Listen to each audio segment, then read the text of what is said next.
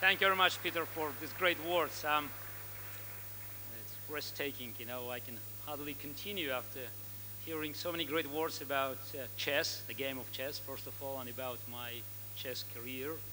So uh, I'm very proud and happy to be with you tonight. And um, since I, this, this conference is, is, has a topic of obesity, I wanted to say a few words, feel obliged.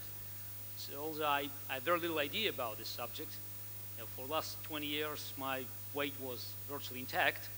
I was told that you know, at age, you know, my age, I'm turning 40 in a month, so it doesn't matter, and I should watch myself in 10 years' time, but still I'm quite proud. So it's, uh, because chess, you know, no matter what's, you know, what Peter said about the game of chess, game of chess always sort of was a, it's, it's a mysterious thing played somewhere in dark corner of the cafe.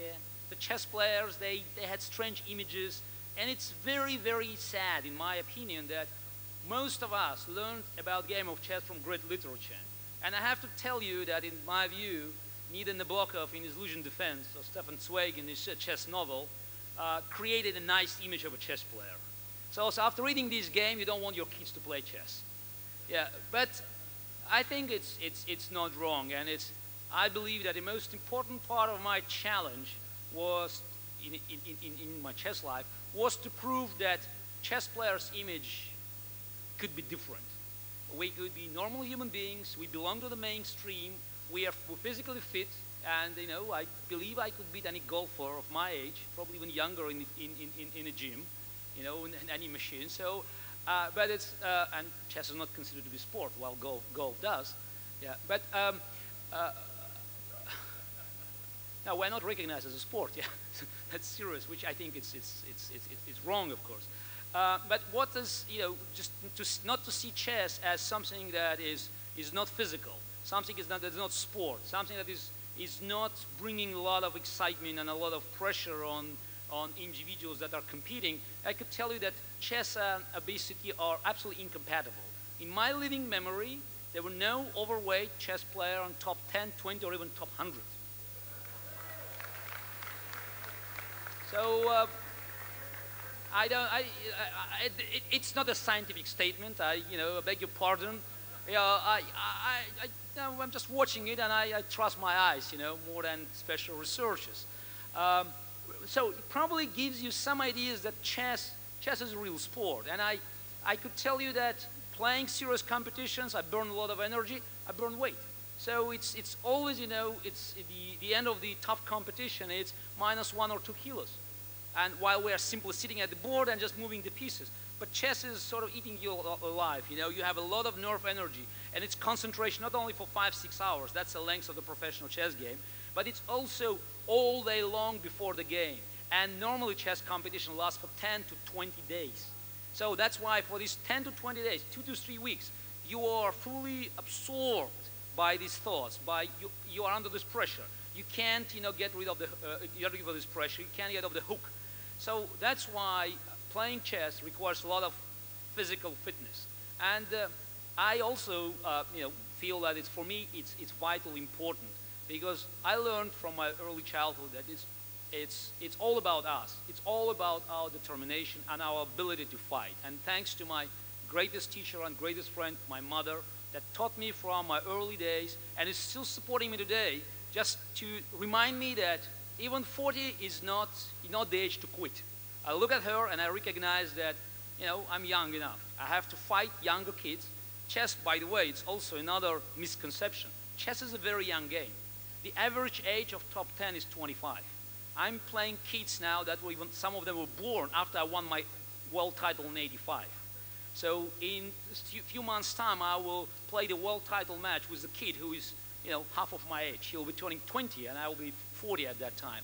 And still I feel strong. And it was what's important is determination.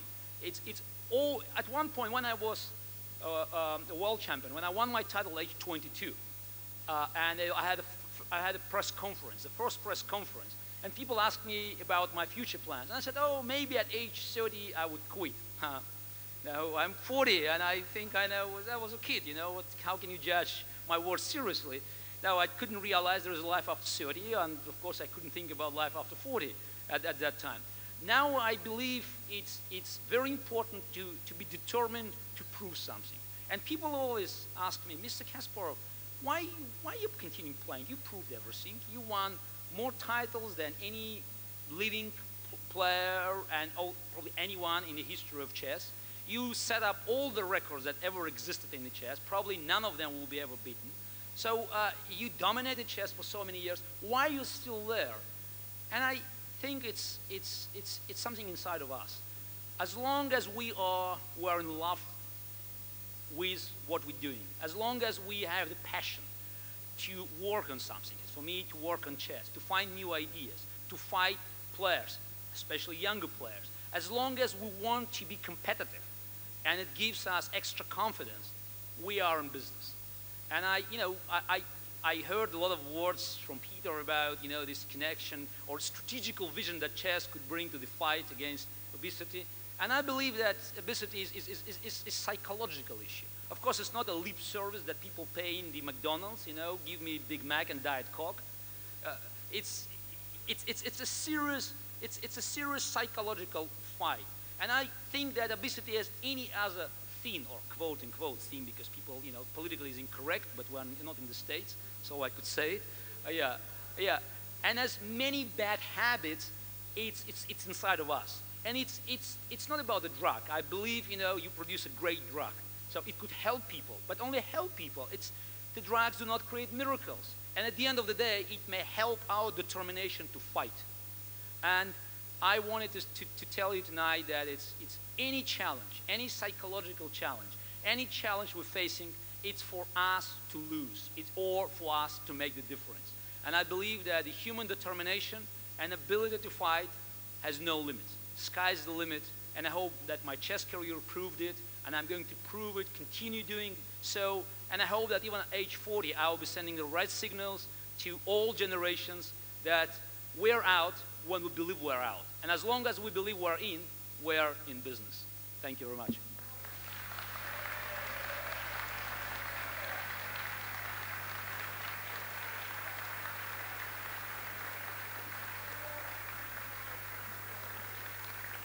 Thank you. Thank you very much. All right, it's your turn. You have